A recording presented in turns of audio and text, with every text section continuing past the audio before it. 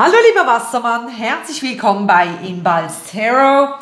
Gerne möchte ich heute mit dir schauen, was in den nächsten 14 Tagen auf dich zukommen wird. Beachte dabei immer auch die Videos zu deinem Mond, Venus und Aszendentzeichen, okay? Okay. Schauen wir mal für Wassermann bitte. Was kommt in den nächsten 14 Tagen ab heute auf Wassermann zu, bitte? Königin der Münzen, Hausarbeit, Hausarbeit, ja, Hausarbeiten hier. Äh, siehst du das Häschen hier? Es ist kein Wunder, dass die Königin der Münzen sich momentan vermehrt zeigt. Das ist das Häschen hier, ja, von der Osterzeit, die jetzt naht. Ähm, könnte es sein, Wassermann, dass du dieses Jahr zum ersten Mal Frühjahrsputz planst? Dass, dass du dieses Jahr dein erstes Frühlingsputz, Frühjahrsputz durchführen wirst. Mit Königin der Münzen sehe ich auch, dass sich dein Fokus auf deine Wohnung sehr richtet momentan. Ähm, vorher hast du dich nicht so sehr damit befasst, äh, was für eine Aura, was für eine Umgebung da du zu Hause hast. Und jetzt ist, dir, ist es dir irgendwie wichtiger. Ich sehe dich, äh, dich mit Feng Shui beschäftigen. Ich sehe dich, dich deine Möbel mal genau anschauen. Hey, warte mal, ist das überhaupt Massivholz oder ist da Plastik drin? Oder äh, beschäftigst dich mehr mit dem, was da mit dir oder direkt mit dir in Berührung kommt im Alltag? Ist eine ziemlich häusliche Karte. Ich sehe dich ähm, jetzt verglichen mit den anderen Frühlingssaisons, sehe ich dich hier sehr viel Zeit drinnen verbringen. Ja? Und da ist es dann kein Wunder, wenn du sagst, ich will da ein bisschen mehr Grün zu Hause haben, möchtest das? Oder? Weil vorher gingst du raus und hattest Bäume, hattest Pflanzen da draußen und jetzt möchtest du äh, oder schauen, dass du auch die, zu Hause dich wohlfühlen kannst. Okay. Beruflich habe ich den Eindruck, dass du hier der Meinung bist, dass eine Beförderung, eine Lohnerhöhung längst überfällig ist. Okay, okay. Also du, du hast den Eindruck, dass du hier so langsam überqualifiziert bist, Wassermann. Und ähm, hier ein, ein Goodie, ein Entgegenkommen von der Firma äh, absolut überfällig ist. Okay, okay. Ähm, bei jenen, die selbstständig sind, ja, Unternehmerinnen und Unternehmer, ja, äh, die, die, das, die den Eindruck haben, dass sie nicht das bekommen, was sie hineinstecken, ähm, ja, falls du, den, also, falls du dir sagst, hey Kopfkönigin der Münzen, ich habe jetzt die Firma aufgebaut, es ist etabliert und getan und gemacht, aber es kommt nicht oder der, der entsprechende Ertrag kommt nicht rein, dann liegt das daran, dass du nicht all deine Talente einsetzt. Du setzt noch nicht all deine Talente ein. Ähm, ich höre, du sollst googeln, welche Geschäftsbereiche es in einem Unternehmen gibt und dann all diese äh, Geschäftsbereiche mal abklappern. Ich tippe drauf, dass wenn du da das Thema Personalwesen anschaust, dann sehen wir es, dass du äh, die gesetzlichen Bestimmungen in Bezug auf Ferien ja überhaupt nicht einhältst. Es gibt einen Grund dafür, dass es da gewisse Vorgaben gibt, ja im Arbeitnehmergesetz, Arbeitgebergesetz in Bezug auf Ferien, da hast du vielleicht oder momentan gar nicht mehr den Kopf frei, hast gar nicht mehr die Energie, um da 100% zu geben, weil du seit zwei Jahren keine Ferien mehr gemacht hast. Ähm, vielleicht solltest du die Buchhaltung mal genauer anschauen. Vielleicht gibt es für Software, die du kaufen möchtest, schon längst SAAS, SAS-Lösungen, SAAS. Stefan, Anton, Anton, Stefan. Gib das ein bei Google, das sind so, dass du nicht eine Software kaufen musst, sondern es abonnieren kannst sozusagen. Also du solltest da mal schauen, was ein Unternehmen für Bereiche hat und all diese Bereiche einfach faktisch vorgehen und all diese Bereiche mal anschauen. All diese Bereiche kannst du ohne Probleme bewältigen. Du hast die Talente dafür, aber, äh, aber eben da gibt es gewisse Dinge, die du da noch nicht ähm, ganz. Äh, hast du hast du Social Media zum Beispiel? Warum nicht? Warum, hast, warum hat dein Unternehmen kein Social Media? Ja, wir verlegen Rohre. Musst du trotzdem haben. Social Media musst, also schau da mal, was faktisch alles nötig ist und, und äh, du, ich habe den Eindruck, da gibt es ein, zwei Punkte, wo du nachholen musst, okay? Gut. Nein, der steht. da hat jemand Angst vor dir. Ja. Jemand hier hat den Eindruck, dass er sie dir niemals genügen kann, dass er sie hier dir gegenüber stets ein Bettler bleiben wird. Bettler, Bettlerin, ja. Ich werde immer, siehst du hier wortwörtlich Wassermann hinterherhinken, okay.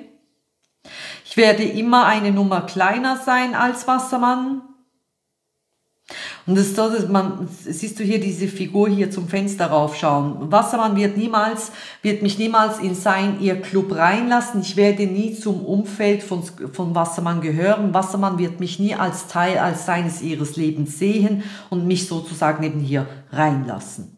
Okay, sind Hypothesen, also sind lauter äh, oder Annahmen, die dieser Mensch hier in Bezug auf dich hat, was der Mann ist, ist halt schon ziemlich imponiert davon, wie und wo du im Leben stehst. Okay?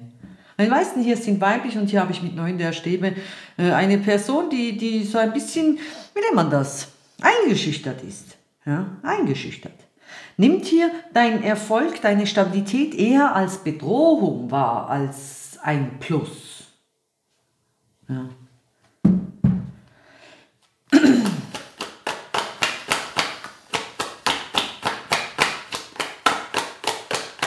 Okay. Ritter der Stäbe äh, will dich durch Sexiness überzeugen. Sex Sales. Also äh, dieser Mensch sagt sich hier, wenn ich ähm, äh, Wassermann schon nicht mit meinen Qualitäten in Bezug auf, äh, auf Stabilität, in Bezug auf Bildung, in Bezug auf Erfolg, beruflichen Erfolg überzeugen kann. Wenn ich Wassermann schon nicht mit meiner Wohnung überzeugen kann, dann kann ich Wassermann, kann ich diese Königin der Münzen ohne Probleme mit meiner Sexiness da überzeugen. Da wird Wassermann, da wird diese Königin der Münzen hier nicht widerstehen können. Sechs der Kirche hier. Wassermann, dieser Mensch hat hier vor, Kontakt mit dir äh, herzustellen in den nächsten zwei Wochen, um dann oder dich mit seinem ihrem Sexiness äh, überzeugen zu können. Okay. Okay. Der Eremit. Okay, liebe Leute, wir sind unter uns, ich kenne dein Gesicht nicht.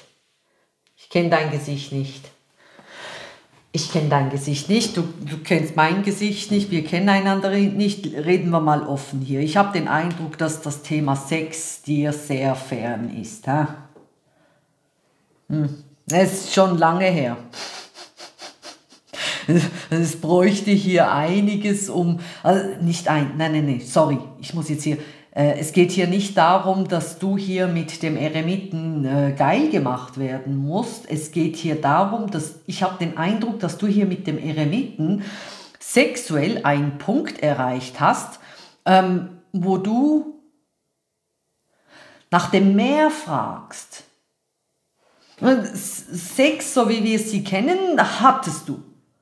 Und äh, und was ist jetzt? Das, und du bist hier mit dem Eremiten, bist du an einem Punkt, wo du dich zum Beispiel ähm, für Tantra interessierst, äh, irgendwelche Bücher oder so über Kamasutra liest, aber nee, selber ausführen tust du es auch nicht. Ich, ich sehe dich hier ziemlich dem Thema fern, auch physisch.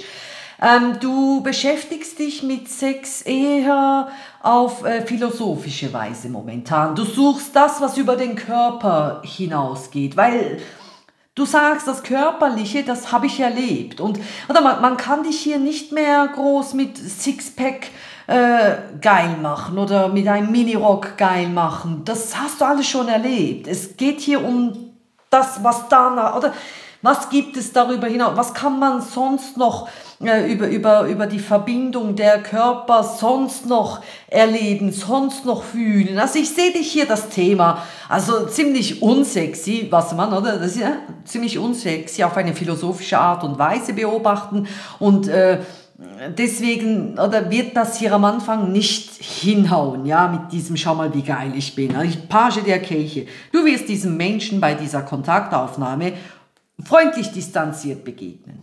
Ja. Hm. Freundlich distanziert. Weil das hier, oder man sieht es hier an diesem Licht, das du in Richtung Vergangenheit zeigst. Erlebt hast du schon. Hattest du schon. Du warst mal Ritter der Stäbe, das Gegenüber war mal Ritter der Stäbe, ja, mit anderen Leuten in der Vergangenheit. Aber Bin there, done that. Ich habe es gesehen, ich habe es erlebt. Was gibt es mehr? Was ist so das? Der Wagen hier. Hier habe ich die hohe Priesterin. Okay. Für dich stehen dann hier vorerst, ähm, ah, noch zur Info, noch zur Info. In den ersten zwölf Stunden wird dir im Warenkorb 50% von der Fortsetzung abgezogen vom Preis. Ja, in den ersten zwölf Stunden. Falls du das im Warenkorb dann nicht mehr siehst, diesen Rabatt, dann sind die zwölf Stunden abgelaufen. Okay? Hast einen Early Bird Rabatt bei dieser Lego. Äh, Wassermann, vorerst wird es bei dir mit der Königin der Münzen und dem Wagen, der, der Wagenkarte hier äh, unglaubliche Veränderungen im beruflichen Bereich geben. Und es könnte sogar auch sein, dass du, oder ich habe ja hier ganz am Anfang erklärt, dass du hier äh, mit deiner Wohnung beschäftigt bist, ja, dich mehr darauf konzentrierst, worin du eigentlich lebst. Es könnte sogar sein, dass du dich hier zu einem Umzug entschließt. Der Wagen hier, es kommen hier berufliche und auch wohnungsbedingt, äh, wohnungsrelevante, wohnrelevante ähm, Veränderungen auf dich zu, die hier dann zu einer sehr großen Entwicklung führen werden. Gut, das war jetzt doppelt, aber verstehst du, was ich meine? Es kommt hier einiges in Bewegung mit dem Wagen und du wirst dann sehr darauf konzentriert sein. Ja, also nicht nur, dass du äh, dem Thema Sex fern, Sex so wie nicht nur, dass du dem Sex, wie wir, wie wir es kennen, sehr fern bist, wie wir ihn kennen, sehr fern bist, du, du, du kommst hier auch dem Thema Dating ferner. Du entfernst dich auch von diesem Thema umso mehr. Ja. Weil du dich hier um, oder du, du konzentrierst dich hier in den nächsten 14 Tagen vor allem auf eine Veränderung, die hier plötzlich eintreten wird bei dir. Ja. Wir werden es sehen. Ja, mit der Hohepriesterin sehe ich hier auch, dass du herausspürst, dass da etwas in deinem Leben entsteht, etwas Großes in deinem Leben entsteht und du dich unbedingt jetzt zentrieren musst und dich konzentrieren musst. Gell? Wir haben hier dunkel, dunkel, hell, hell, oder? Und auch hier so diese, äh, diese, dieser fokussierte Blick in Richtung Zukunft, ja, da, dafür steht auch diese Zentrierung der Hohepriesterin. Also ablenken lassen wirst du dich hier nicht. Das definitiv nicht. Nur springt dieser Mensch hier auf und ab und, und möchte deine Aufmerksamkeit bekommen. Mal schauen, was hier genau passieren wird. Wassermann, ich werde hier mit diesen Karten schauen, was hier genau passieren wird, worauf das Ganze hier hinausläuft. Diese Karten hier werde ich fragen, was du vor deinem Gegenüber versteckst und was das Gegenüber vor dir versteckt. Und für jene, die hier keinen Kontakt haben, werde ich diese Zeitkarten hier fragen, wann hier der nächste Kontakt stattfinden wird. Entschuldigung. Das ist der Beweis dafür, dass ich echt bin. Sorry. Nee, kam aus meinem Mund, hör mal auf. Ich habe vorher Cola Zero getrunken, sorry. Ähm, diese Zeitkarten hier werde ich, ach, schau, Wassermann steht hier auch schon.